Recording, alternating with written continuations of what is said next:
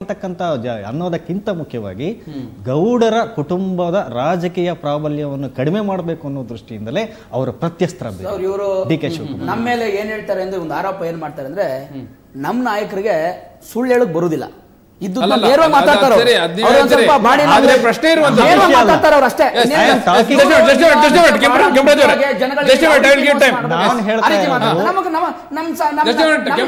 ಪ್ರಶ್ನೆ. ನಾನು ಆರೋಪಗಳು ಪ್ರತ್ಯಾರೋಪಗಳ ಬಲ್ಲ ಬಗ್ಗೆ ಹೇಳ್ತಾ ಇಲ್ಲ. ನಾನು ಆ ಒಂದು ಕ್ಷೇತ್ರದ ಒಂದು ಕೆಮಿಸ್ಟ್ರಿ ಪೊಲಿಟಿಕಲ್ ಕೆಮಿಸ್ಟ್ರಿ ಬಗ್ಗೆ ಮಾತಾಡ್ತಾ ಇದ್ದೆ ಕಾಂಗ್ರೆಸ್ ಪಕ್ಷ ಯಾವಾಗಲೂ ಕೂಡ ಜೆ ಡಿ ಎಸ್ ಗೌಡರ ಒಂದು ಪ್ರಾಬಲ್ಯದ ಬಗ್ಗೆನೇ ಹೆಚ್ಚಾಗಿ ಆತಂಕ ಪಟ್ಟಿದ್ದು ಹೌದು ಅದ್ರ ಜೊತೆಗೆ ಹೀಗಾಗಿ ಈ ಪೊಲಿಟಿಕಲ್ ಡಾಮಿನೆನ್ಸ್ ಕಡಿಮೆ ಮಾಡಬೇಕು ಅಂತ ಶಿವಕುಮಾರ್ ಅನ್ನೋದು ಅಸ್ತ್ರವಾಗಿ ಬಿಡ್ತಾ ಇರೋದು. ಯಾಕೆ ಇವತ್ತು ಕಾಂಗ್ರೆಸ್ ಪಕ್ಷದ ನಾಯಕರೆಲ್ಲ ಡಿ ಕೆ ಶಿವಕುಮಾರ್ ಸಪೋರ್ಟ್ ಮಾಡ್ತಾರೆ ಅಂತ ಹೇಳಿದ್ರೆ ಹೌದು, ಮೊನ್ನೆ ವಿಧಾನಸಭೆಯಲ್ಲೂ ಅವರಿಗೆ. ಅವರಿಗೆ ಜನತಾದಳದ ನಾಯಕರಾಗಿ ದೇವೇಗೌಡರ ಒಂದು ರಾಜಕೀಯ ಪ್ರಾಬಲ್ಯ ಅಲ್ಲಿ ಮೇಲುಗೈ ಆಗಬಾರ್ದು ಅನ್ನೋ ದೃಷ್ಟಿಯಿಂದ ಇಡೀ ಕಾಂಗ್ರೆಸ್ ಪಕ್ಷ ಡಿ ಕೆ ಶಿವಕುಮಾರ್ ಸಪೋರ್ಟ್ ಒಕ್ಕಲಿಗರು ಒಕ್ಕಲಿಗರು ಇದಕ್ಕೆ ಮಾತ್ರ ಇವ್ರನ್ನ ಬಿಡ್ತಾರೆ ಅಂತ ಹೇಳಿದ್ರೆ ಮೊನ್ನೆ ಬಳ್ಳಾರಿ ಬೈ ಎಲೆಕ್ಷನ್ ಅಲ್ಲಿ ಡಿ ಕೆ ಶಿವಕುಮಾರ್ ಅವರಿಗೆ ಕೊಟ್ಟಂತ ಸಂದರ್ಭದಲ್ಲಿ ಇನ್ಚಾರ್ಜ್ ಅನ್ನ ಕೊಟ್ಟಂತ ಮಾಡಿದ್ದೇವೆ.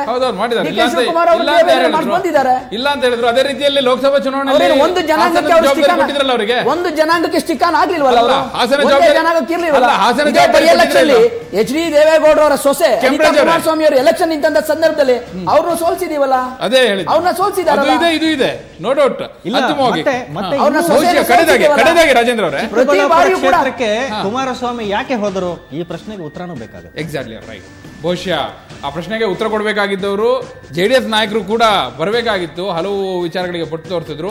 ಹಲವು ನಾಯಕರನ್ನು ನಾವು ಸಂಪರ್ಕಿಸಿದ್ವಿ. ಮರ್ಲಿಂಗೇಗೌಡರು ಬರ್ತೀವಿ ಅಂತ ಹೇಳಿದ್ರು, ಅವರು ಕೂಡ ಬರಲಿಲ್ಲ. ಬಹುಶಃ ಕುಮಾರಸ್ವಾಮಿ ಅವರ ಧ್ವನಿಯಾಗಿ ಯಾರು ಕೂಡ ಮುಂದೆ ಬರಲಿಲ್ಲ ಅನ್ನೋದು. ಆದರೆ ಒಂದೊಂದು ಸ್ಪಷ್ಟ. ಒಕ್ಕಲಿಗ ನಾಯಕತ್ವದ ಸಮರ ವಾಕ್ಸಮರದಲ್ಲಿ ಕಂಡು ಬಂದಿದೆ. ಆದರೆ ಇದು ಅನಾರೋಗ್ಯಕರವಾಗಿ ಮುಂದುವರಿಕೂಡ್ದು ಅನ್ನೋದು ಒಂದು ಸ್ಪಷ್ಟವಾದ ಸಂದೇಶ. ಮೊನ್ನೆ ವಿಧಾನಸಭೆಯಲ್ಲಿ ನಡೆದಂಥ ವಾಕ್ಸಮರ ಕೂಡ ಅದನ್ನು ಕೂಡ ಉದಾಹರಣೆಯಾಗಿ ಹೇಳ್ಬೋದು ನಾವು. ಏಕವಚನಕ್ಕೆ ತಿರುಗಿತ್ತು ಅಂತಿಮವಾಗಿ ಅದು.